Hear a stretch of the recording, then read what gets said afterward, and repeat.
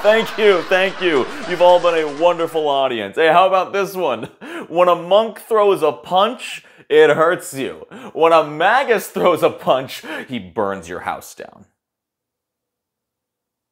Howdy, my name is Nonat, and it's finally time for the Magus feats. If you have not already seen part one of the Magus deep dive, I recommend going to check that out because going over these feats, I will assume you know how Spell Strike works, how the Magus's spell pro pro progression goes. I'm stuttering. This video is like two weeks late because I had Gen Con and then I didn't have time to make a long video like this, but now I do, so we're not going to waste any more time. Oh wait, yes we are. Commercial! So Fireball does deal fire damage. Howdy. My name is Nonat. Oh, what am I wearing? Well, it's just the new, New Nonat. Nonat1s merchandise. That that wasn't me. A- anyway, it's uh, it's the new New Nonat. Nonat1s merchandise. Okay, look, I'm just trying to tell them about the New new Nonat Nonat1s merchandise available exclusively at Fine, yeah, what he said, whatever. I'm done. This ad is stupid. Support the channel. Get yours today. Okay, that's it. Let's go. First level Magus feats, starting with Arcane Fist. You become a monk. Okay, it does a little bit more than that. Uh, instead of dealing 1d4, your fists become 1d6 bludgeoning weapons. You do not take a penalty for trying to deal lethal damage with them, and they gain the arcane trait, so your fists become magical weapons. Plus, at level 5, you get the crit specialization for your fists. There's actually a lot of little bonuses tucked into this level 1 feat, and it's pretty good, and it is a requirement if you plan to make an unarmed magus. Nathan. Familiar. I wonder what that does. Ladies, gentlemen, NBs, I give you the best named feat in the entirety of Secrets of Magic. Magus Analysis. I know they made this feat just so they could say Magus Analysis, and it rhymes and it feels great to say. Uh, Analysis. You may attempt to recall knowledge about a creature, and if you have hit them this turn, you get a plus one to bonus. What did I just say? And if you've already hit that creature this turn, you get a plus one to your recall knowledge check. On top of that, if you successfully recall knowledge on that creature, you recharge your spell strike. This is massive. Unless you just spend an action to recharge it, you can't do it for free. So this basically allows you to recall knowledge whenever you recharge your spell strike. And if you just spell struck something, you can recall knowledge on it with a plus one. You know how much I love uh, recall knowledge synergy and things urging players to use recall knowledge, so this is perfect. And Raise a Tome, everybody's favorite level 1 Magus feat, because it allows you to use a book as a shield. This is basically raise a shield, spend an action, gain plus 2 to armor class until the start of your next turn, but it has even more benefits than that. You gain a bonus to recall knowledge on things that relate to the subject of your book. It does specifically say creatures, but I don't see why it couldn't work for architecture and stuff too. But the book specifically has to be about that. So if you're fighting a natural wild animal, but you're holding your arcane tome of spells, well, that's not going to give you a bonus to identify what the heck a jackrabbit is.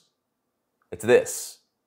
Keep in mind that unless you are the Sparkling Targe subclass, you do not begin with Shield Block, but if you gain Shield Block in some manner, you can use your book to block. However, it is pretty weak. It's only hardness 3 with 12 HP, which means if you're taking more than 15 damage, your book is being torn to shreds.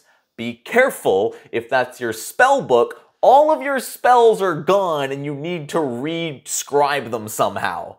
Good luck. The final line of Raise a Tome is that anything that requires Raise a Shield can be done with Raise a Tome. Level 2, Cantrip Expansion. Everyone knows what it does, and apparently everybody loves it but me. I do not apologize. But I do respect your opinion. Enhanced Familiar. More familiar abilities. Expansive Spell Strike does a lot. So let's hunker down and talk about this monster of a feat that tons of people are going to be taking. Put simply, Normal spell strike can only be done with spells that require a spell attack roll. Expansive spell strike allows you to spell strike with any harmful spell, but there are a lot of restrictions on how it works. Like a normal spell strike, if you crit fail, you still lose the spell.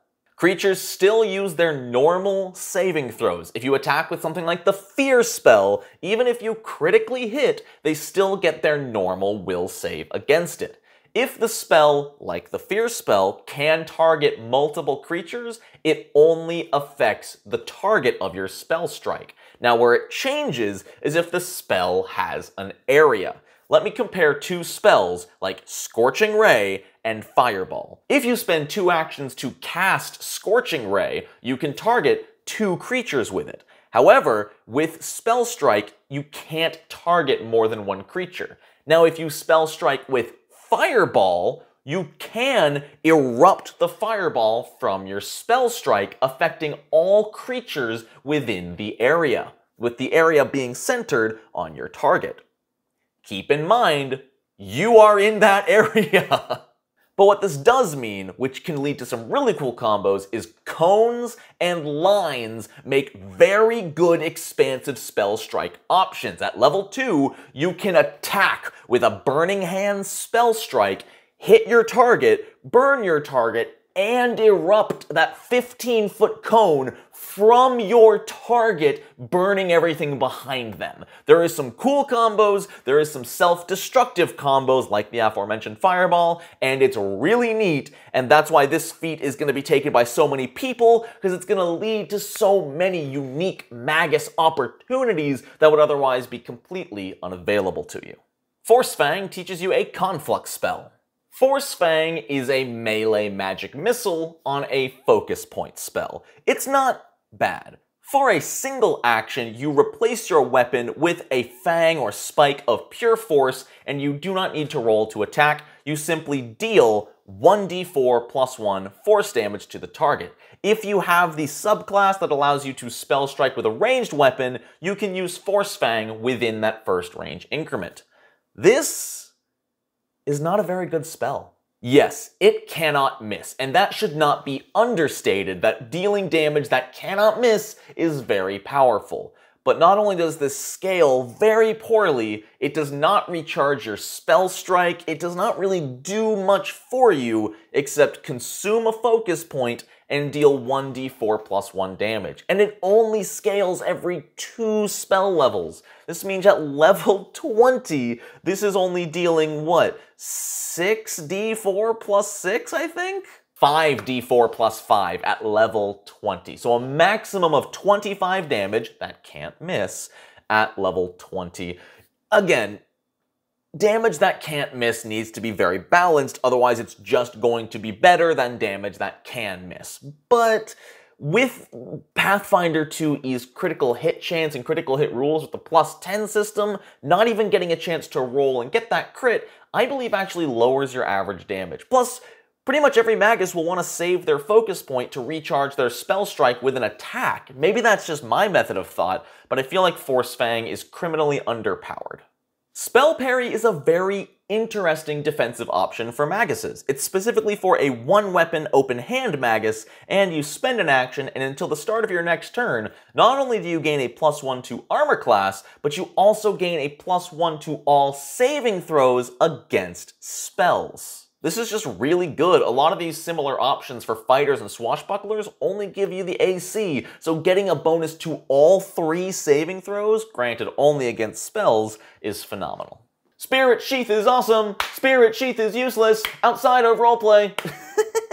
no, Spirit Sheath is amazing. It's not gonna do you that much good in combat, boy, in role play scenarios where you need to hide a weapon or just appear unarmed or something, Spirit Sheath is fantastic. Spirit Sheath gives you a sheath for your weapon, regardless of the weapon's size, and the sheath does not appear on your body.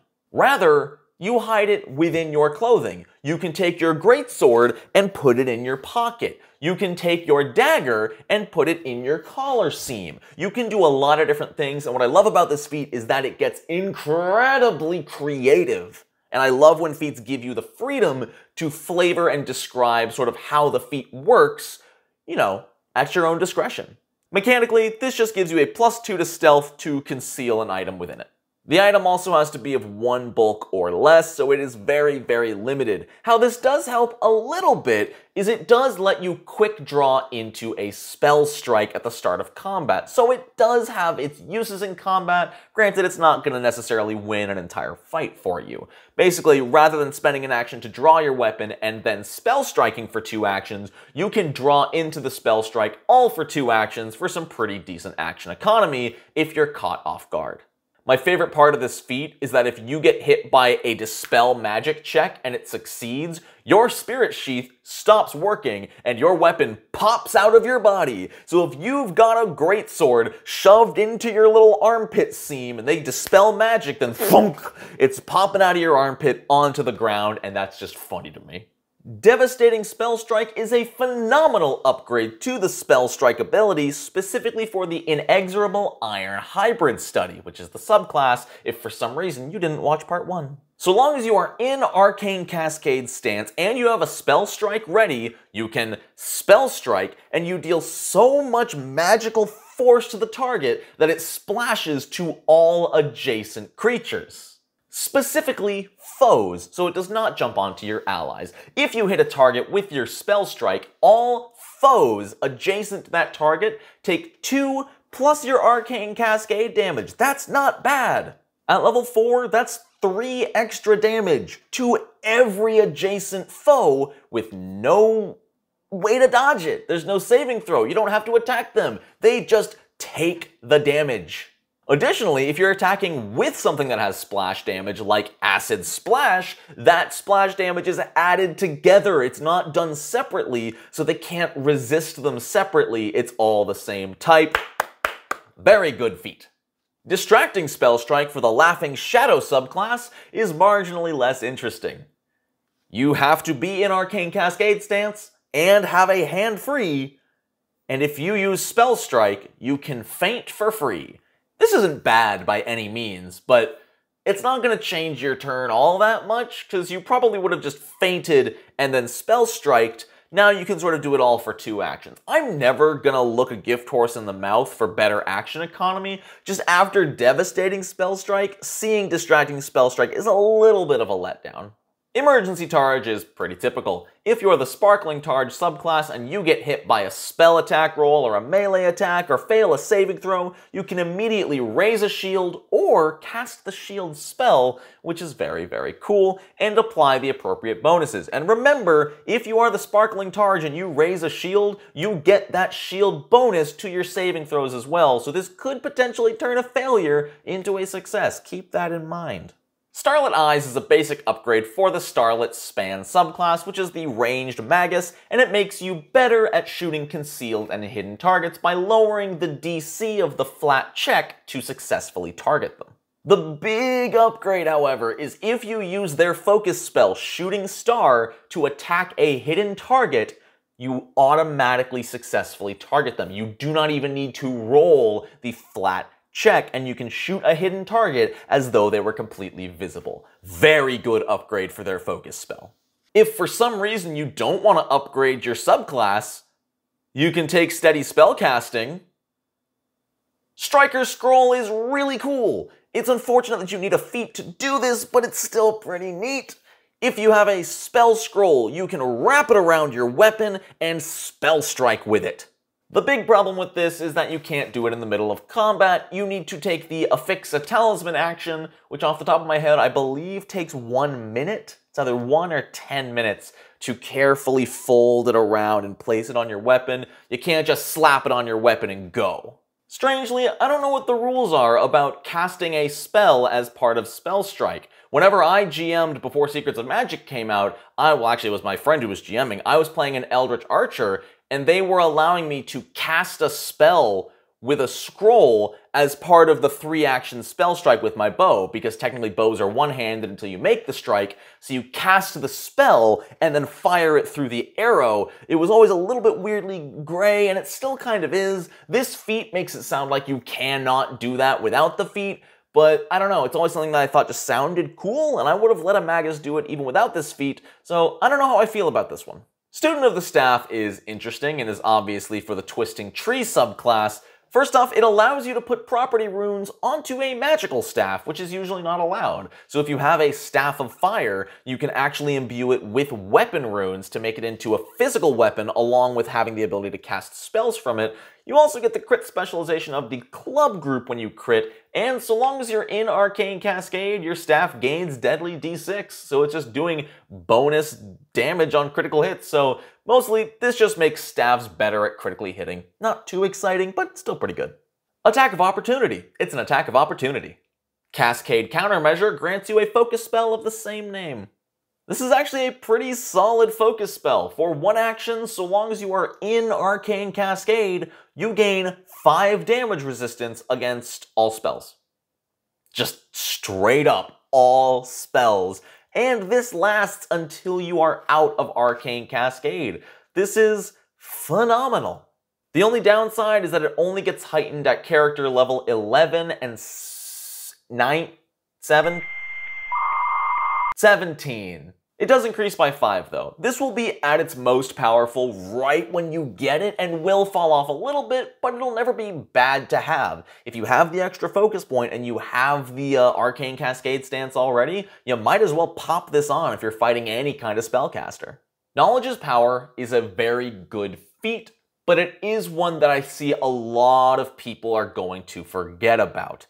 If you ever critically succeed at a recall knowledge check against a creature, you gain three separate bonuses, which can be a lot to keep track of in the middle of combat. You gain plus one to your next attack roll against it, plus one to your armor class against only its next attack against you, and plus one against your saving throw against its next effect against you. So not only are you trying to remember these three different plus ones, but you're trying not to confuse them with other creatures, and this can get a little bit messy, and this is the kind of design I'm not a big fan of. Because I typically don't like things that only give you defense against a specific target's next attack, but if it's only one benefit, it's usually not too big a deal. Granting three separate benefits that only apply to a single creature can get a little bit messy and tough for players and the GM to keep track of. So very good feat, but can make combat a little bit messy.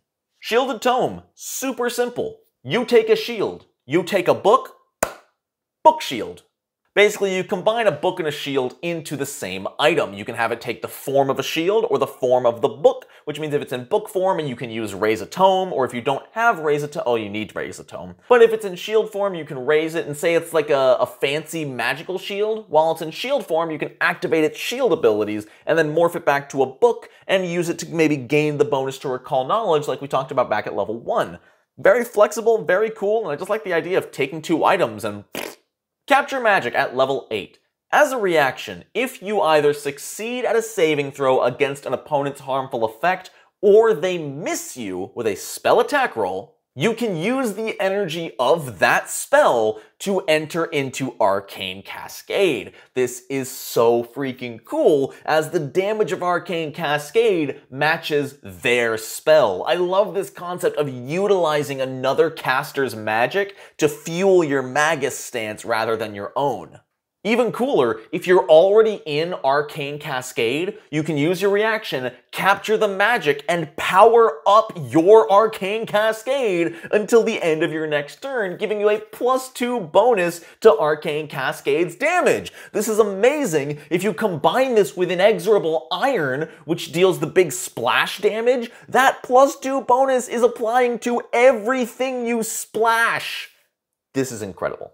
Fused Staff is amazing. If you've ever wanted a weapon that can cast spells like a staff, Fuse Staff is for you. This is very similar to the combining the book and shield feat from earlier, except you combine a magical spell casting staff with any weapon in the game. Unfortunately, this is not as cool as I initially thought. This does not give you a dagger that can throw fireballs. It does, however, give you a dagger that can use the charges from the staff for spell striking.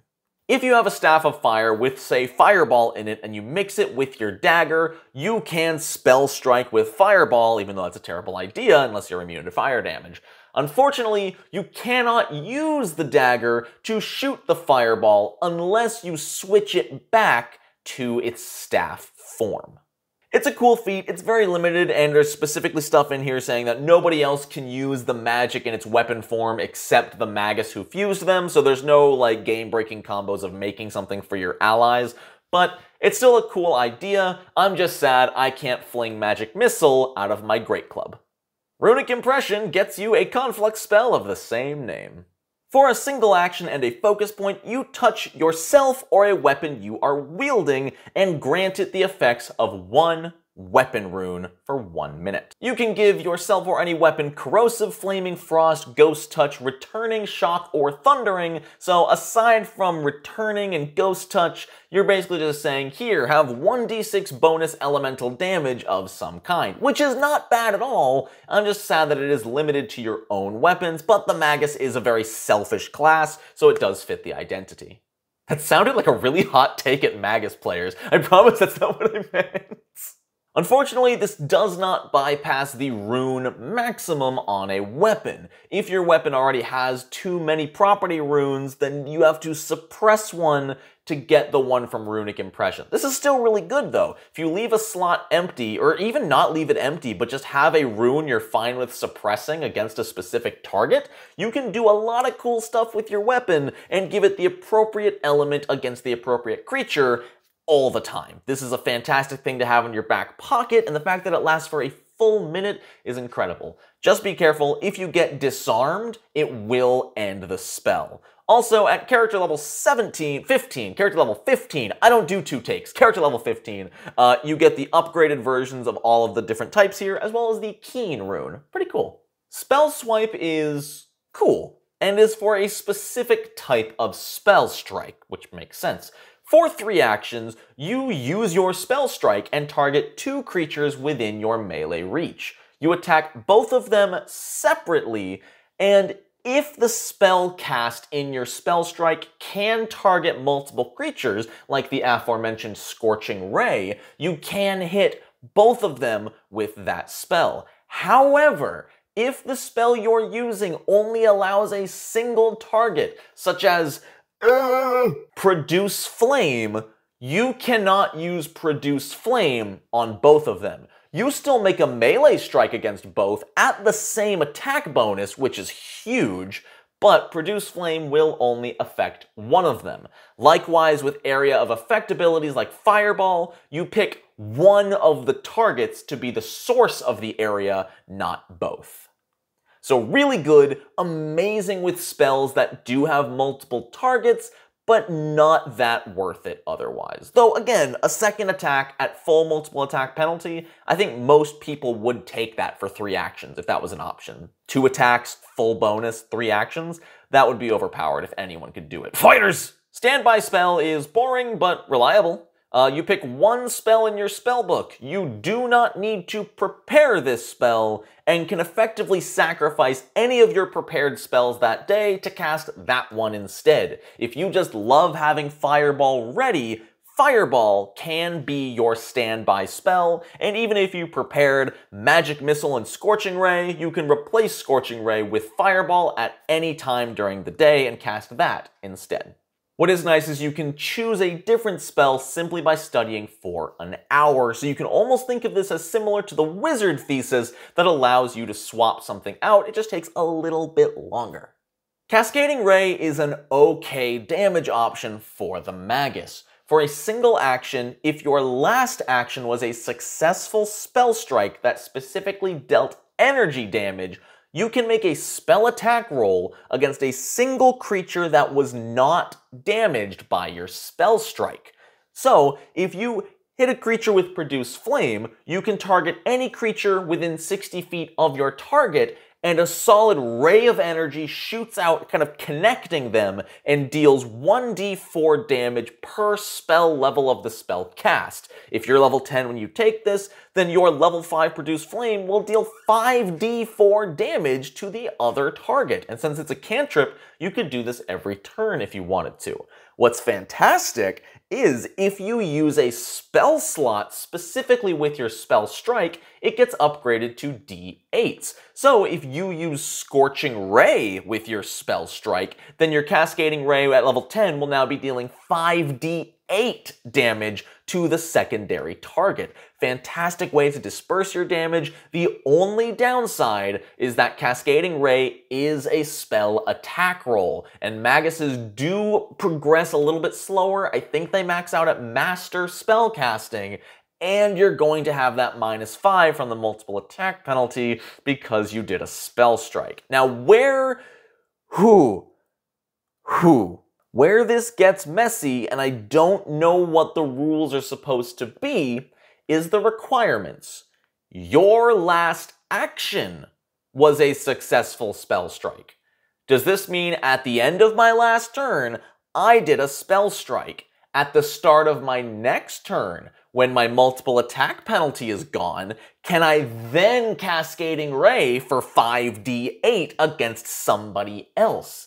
Because Personally, from a cinematic standpoint, that doesn't make sense because you hit them and then six seconds go by and then the ray flies out. Whereas I know what's intended is you strike them, the spell explodes and the ray shoots off from the spell effect. Now, there's all the arguments of like, ah, oh, it's all happening at the same time, so it does make sense, but it's hard with initiative in perspective. I don't know. I would love Paizo clarification on this. Can you end your turn with a spell strike and start your next turn with a cascading ray? I need to know.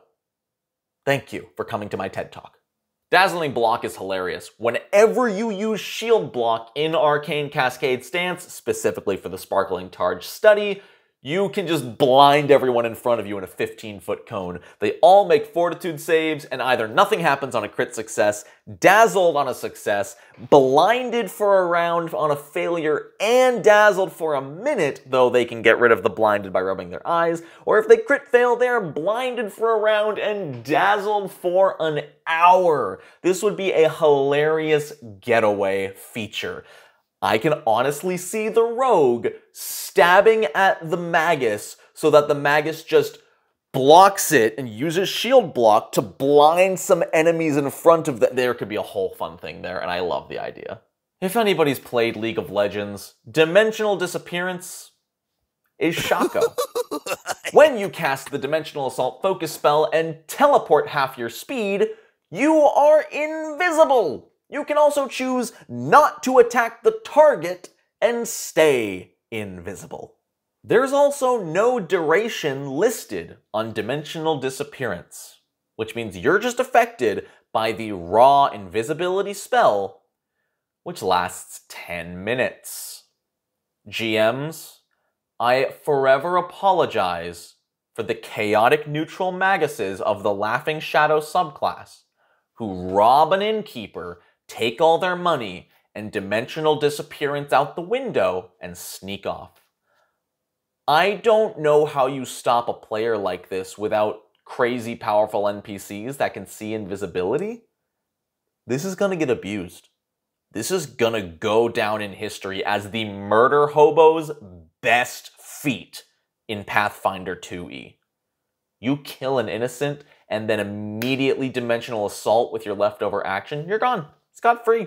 Unless you left evidence at the crime scene, you're good. They're not going to connect you. They don't have FBI. I don't like this spell. I do. It's really, really strong. It's just going to be so abused. Lunging Spell Strike is really cool, and if you like some traditional Japanese extending staff mythology, this is for you, or if you're a weeb who watches Dragon Ball. Uh, for two actions, you make a Spell Strike. If you're the Twisting Tree Hybrid study specifically, you attack with your staff, and your staff increases its reach by five times the spell level. It already has a 5 foot reach. If you're casting a level 5 spell, you now have a 35 foot reach melee spell strike. If you're level 20 and you cast a level 10 spell with this, that is a 55 foot reach melee spell attack, and I'm here for it. Meteoric Spell Strike is pretty good. I wouldn't call it amazing, but if you are the Starlit Span hybrid study and you make a ranged spell strike against a target and hit, then all creatures between you and your target take damage equal to double the spell's level. If you cast a 5th level spell, then all of them are taking unavoidable 10 damage.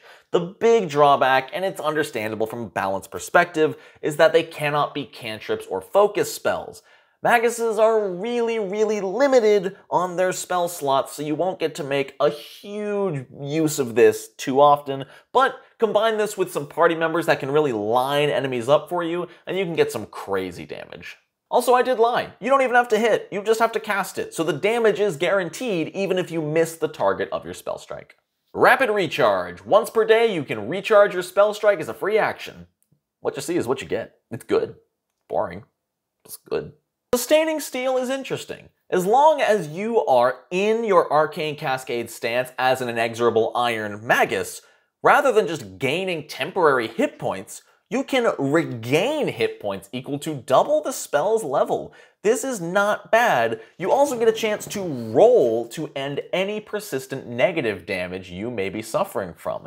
In addition, if the spell you cast is from the Necromancy school, you don't even need to roll. You can just end the negative damage right away. So hey, with four spell slots, this effectively gives the inexorable Iron Magus at level 10 about 26 hit points they can recover per day. That's if they don't have any way to get spell slots back or whatnot. That's pretty good. 12th level's Conflux Focus, you get two focus points back instead of one. Pretty typical. Magic Sense. You are permanently affected by a first level Detect Magic spell and whenever you use the Seek action, it gets up to the third level, which I believe tells you the school of the strongest source of magic. Pretty useful, pretty cool. You can also turn it off and on at will in case you want to stop hearing ping, magic, ping, magic, ping, magic, ping when you're in the wizard school. That would get annoying. Overwhelming Spell Strike is pretty typical for a caster. It allows you to ignore resistance to the spell's damage equal to the spell's level, and as always, this is incredibly useful because it counts on persistent damage as well. If you cast a fire spell that deals persistent fire damage, you can make the target lose resistance to that persistent fire damage and keep taking it. Very nice. Equal to your level, not the spell's level, sorry, so even better. Arcane Shroud is really, really, really good. And if you have this ability, you can spell strike, and for a single action, you gain the effect of a fairly decently powerful spell until the end of your next turn. The spell effect you gain depends on the school of the spell you cast. I'm gonna try to go over these quickly. Some of these might be wrong because I don't remember these off the top of my head, but I'm kind of using this as a test to see if I remember what each of these spells does. If you cast Abjuration, you get Stone Skin, which gives you resistance to damage. Blink gives you resistance to damage as well, though less than Stone Skin, but it's to all damage. See Invisibility. Duh. Heroism gives you a flat bonus to everything. Fire Shield deals damage to melee attackers that attack you. Invisibility. Duh. False Life gives you temporary hit points, and Fleet Step gives you a 5 foot movement speed bonus. I think those are all right. This is amazing. You can, you can do it once per turn. Granted, you need to cast a spell from a spell slot or spell strike from a spell slot, but this is still crazy good. Being able to just give yourself heroism for a turn? Wow. Hasted Assault, a conflux spell. Hasted Assault is really simple. It's haste as a focus spell. You quicken yourself for one minute. You can only use it on strike actions, but it's haste as a focus spell. Now, interestingly, I don't know the rules on this. Hasted Assault specifically says you can only use your extra action for strike actions. Does Spell Strike count as a strike action? I need clarification, and you guys are smarter than me, so, uh, tell me. Preternatural Parry is good, but I don't know if it's level 14 good. As a reaction, if you're about to be hit by a strike, spell attack, or make a saving throw against a spell, you can use your reaction to give yourself plus 2 to armor class or all saving throws against the triggering effect until the start of your next turn. This is great. You know who else gets this? Level 1 rogues.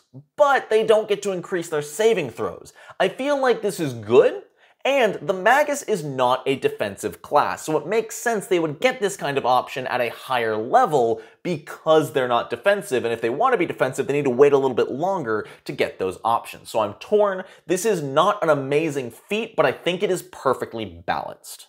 Dispelling Spell Strike is pretty good. For three actions instead of two, you make a normal Spell Strike, but in addition to all the damage you're dealing, you get to make a counteract check against a single magical effect on the target. Keep in mind, this means you can use it against innocent people who are maybe being mind controlled. If they're under a controlling spell or magical effect, you can dispelling spell strike them and then counteract it because you're just so nice. Resounding Cascade is cool. As a free action, when you enter into Arcane Cascade, all adjacent allies gain the bonus damage on their attacks as well. Now, they only gain the base effect of Arcane Cascade. If you have any feats or subclasses that alter or affect it, they do not gain that bonus. Only the flat, I think, one plus two from greater weapon specialization. But giving all allies that are adjacent to you plus three damage to all of their attacks and its flavored damage like fire or electricity, this is a game changer. If you're up in there with the fighter and the barbarian and they're each dealing three additional fire damage on every attack, that is huge! Conflux Wellspring. You get to refocus three instead of one. Versatile Spell Strike is fine, but it's a lot worse on a Magus than something like a Wizard. You basically sacrifice one of your highest level spell slots to prepare one that is two levels lower, but you can cast from that slot like a sorcerer. Any spell you know can be cast from that slot, but again, it is two levels lower. If you're level 18 and you have ninth level spells, you can prepare a seventh level spell, but can be any seventh level spell you know. So it's really good, it's very versatile, it's sacrificing power for versatility, it's balanced, and I don't like it. Supreme Spell Strike. Do you like spell striking? Do you wish you could do it every turn? Well, now you are permanently quickened, and you can only use that extra action to recharge your spell strike. So this is just every turn you can move, spell strike, recharge, move, spell strike, recharge. Overpowered as heck, and I love it.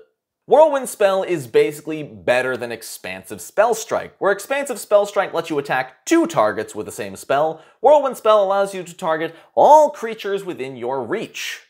So that's typically going to be a max of six targets, but if you're large, you can target a lot more creatures within your reach. Now, again, similar to Expansive Spell Strike, this does not work for single target spells or area spells. It specifically needs to be spells that say targets up to six creatures then you can use Whirlwind Spell. And unfortunately, I don't think there's a lot of options for that, but that's not a big deal to me because this is a level 20 feat. So at that point, you have access to all of those options, probably. So even if there's only three or four spells that qualify for this, it's still a feat that you have to choose to take, and then you will obviously choose to prepare one of those spells that can do it, and it's gonna be a lot of fun. What is really sad and makes a lot of sense Whirlwind spell does not work with Starlit Span, so Starlit Span is pretty much stuck to the auto recharge spell strikes. Wah.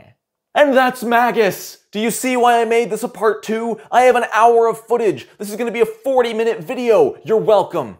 Okay, actually, the video's not quite over yet. Thank you to my patrons for supporting me. Thank you for watching. If you're interested, check out my website. what am I doing? I don't know. This is a one-take outro. Let's go. Check out the links in the description. There's one to my website where you can check out all of our merchandise and cool website things. There's links to my Patreon, my Discord. If you want to be a cool supporter like the people who flew by, you can check that out. And if you pledge $20 or more, you can get your name up in this cool little list here. $10 or more gets you access to my custom homebrew every month. Thank you all so much. I'm so tired. It's been a long day. It's been a productive day. So I'm going to wrap this video up by saying thank you all very much for watching. I hope you have a wonderful rest of your day. And until next time, no nat ones.